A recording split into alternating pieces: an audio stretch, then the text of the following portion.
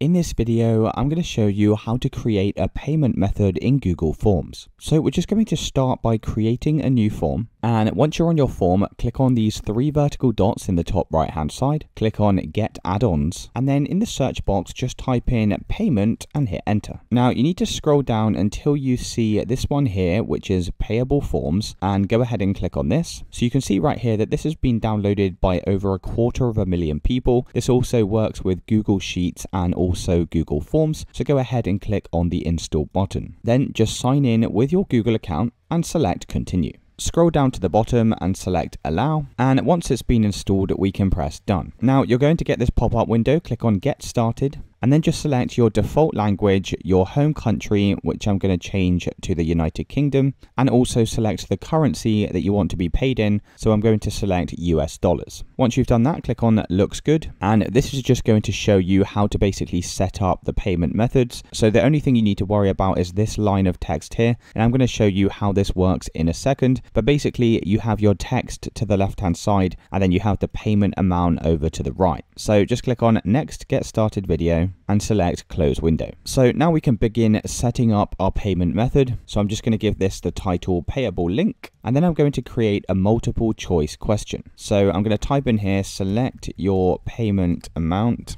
and then I'm going to add a couple of options that people can come and check. So for option one, I'm going to type in t-shirt and then I'm going to type in a hyphen space and then I'm going to type in the dollar amount. So this could be $50. You just want to type in here how much you want to be paid for this particular item. And I'm going to do the same for the second one as well. So this could be some jeans and I'm going to do this for $70. And you basically get the idea. So you can have as many of these as you want. You just need to make sure your text is on the left hand side and the price is on the right hand side like so. Now once you've done this, click on auto configure form and sheet from the right hand side. Then you can just scroll down and click on see the connected Google Sheet. And this is where you're going to be able to see all of your payments. So essentially your invoices. I'm going to close out of this for a second. Then click on sync theme with checkout. And if you get this error message, it's because we have not published our Google form. So what you need to do is just press OK and click on publish in the top right hand side. Make sure this here is set to anyone with the link and press publish. And now if I click back on sync theme, you can see that all looks good and we can press show me a preview of my checkout page. And this is basically what it will look like to someone that's trying to make a payment. So this is just a complete example. So I'm just going to close out of this. Then select connect a payment provider. And this is where we can go and select how we want to get paid. Now the easiest one to set up is just setting up a PayPal account. Because PayPal is such a recognized payment provider, I just like to use this one. But you can go and set up Stripe or Square. It's entirely up to you. So I'm going to click on PayPal PayPal and then just scroll down and click on Connect PayPal Standard and you can simply sign in with your PayPal account. You may have to go and verify this connection so I'm just going to receive a text and press next. Now just scroll down and click on Continue Scroll down again and select agree. And just like that, we've now finished and we can press go back to Payable Inc. And as you can see, this is now set up. So I'm going to close out of this window and that should now update and it should detect that you've connected to your PayPal. So I'm going to close out this window and then you can choose to click on add sample payment methods. And this is basically going to show you what the payment options should look like. So this is what we've just created up here. So I'm just going to go ahead and delete this from my form. Uh, I'm just going to delete all of these down here as well. You can see we can do different things to collect payments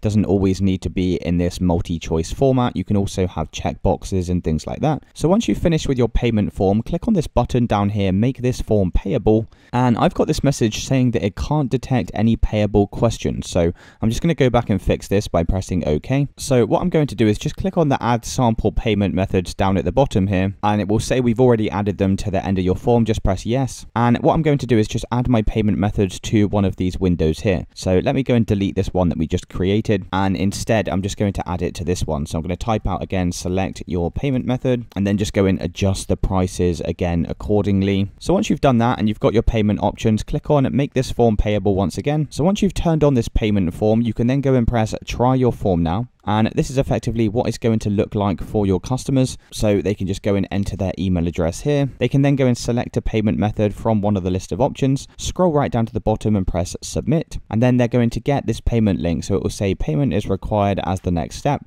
Then they can click on the link. And now because it's in test mode, people won't be able to pay right now, but this is essentially what it will look like for your customers. So they can go and input all of their information here. And you can see they can select pay with PayPal right at the bottom. So in order to go and make this live, once you're happy with all of this, come back over to your Google form, come back down to this window and scroll all the way down to the bottom and you just want to turn off testing mode from this drop down arrow and you can see now it will start using real money and you can now go ahead and share this sheet with your customers and they can go and begin sending payments to you. So it's as simple as that guys. If you did find this video helpful then let me know in the comments and I'll see you with the next one.